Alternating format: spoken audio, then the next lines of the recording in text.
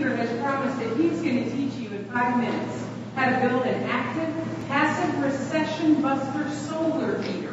what I remember about the thing he sent in was he built one of these in a weekend and uses it to heat his office or something, so he knows what he's doing.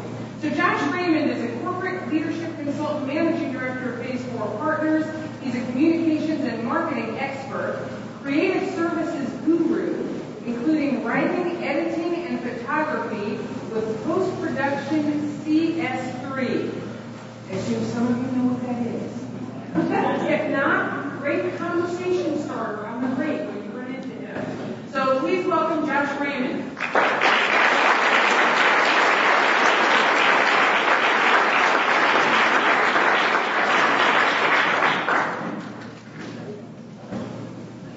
Okay, Ron.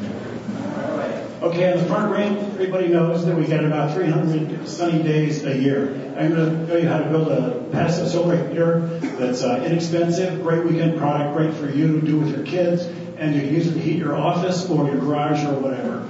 Okay. This is uh, one sample of uh, a solar heater. And you notice that up here, it comes in, the cool air comes in, down goes down the backhand, backside, gets heated by the sun and comes out all in one place. You can see it over here in the window. This is a nice shape. The one we built is like this. The cool air comes in the bottom, sun heats it, and we use aluminum cans here, which I'll go into. Hot air comes out. And you can see in the unit that we built. It comes in the bottom like this, heated, and goes out that way. Okay, if you're going to build a solar heater, the first thing you need to do is do a diagram, get your design in place. And this is Paramount. It took me months to find the dimension of a can, other than just measuring. I kept looking for it. But this is where you start. This is sort of like your ground zero. When you know this, you can build anything from it. We needed 85 cans to, for our solar heater.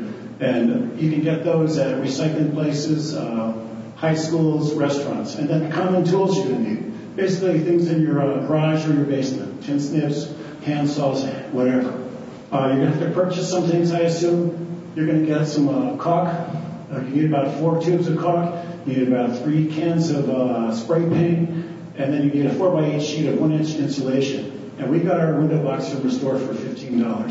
So I'm going to quickly show you how you work on the can. You take your tin snips and cut about a half inch, quarter inch on each side of the tab, push it in and use gloves. I was using bare hands here, which wasn't wrong, right? Use gloves to push it in, and then you can put some holes around here. On the bottom side, you do the same thing. You put a hole in the center with your ice pick, and I use uh, pliers, nose pliers to widen it, and put four holes around it.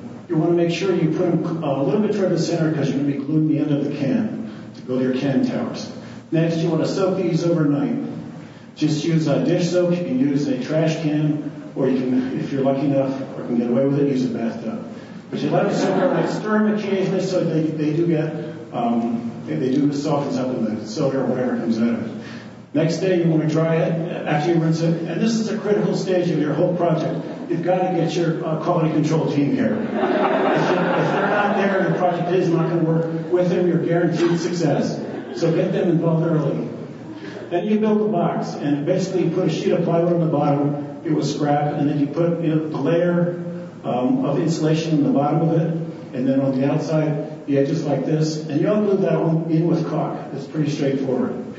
You want to build the towers next, you take two boards, maybe five or six feet long, nail them together, and then you can slide the cans down them, right along here. And you glue the top of each can, slide it down, just slide it down. You don't need to put a lot of pressure on them. Then you just roll them out so they can dry. Um, then you put the cans into the um, box itself, and you want to use caulk to hold that in place. And then you use your spray spray paint. Probably uh, two or three coats will take care of it. But you do everything on the inside of the box. We move this to the front of the house, and you can see there's a problem here.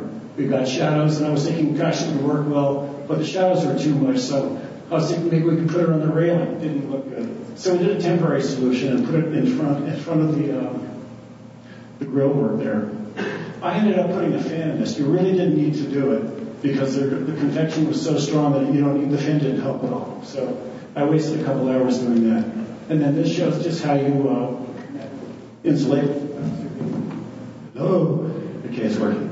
So this is just a sample here. This is coming out of the office, connecting to the bottom of the um, heater, and then coming out of the top of the heater there into the office. And that had it coming right across my desk, so I had warm air by 9 o'clock in the morning. Quick way to find out where um, true south is while you're positioning it. In the newspaper, you'll find the time. In this example, there's 9, uh, 9 hours 24 minutes divided by 2. Add that 442 to 715, and you'll know exactly where true south is.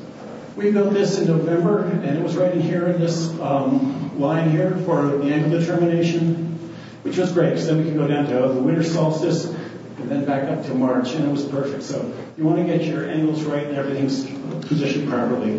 When you do that, you got to get your brackets. Once you hit it set, um, put your brackets in, screw it in place, clean your glass, and then you um, glue it in place, seal it so it works. And then that's basically the process. QCT is finished. Thank you very much.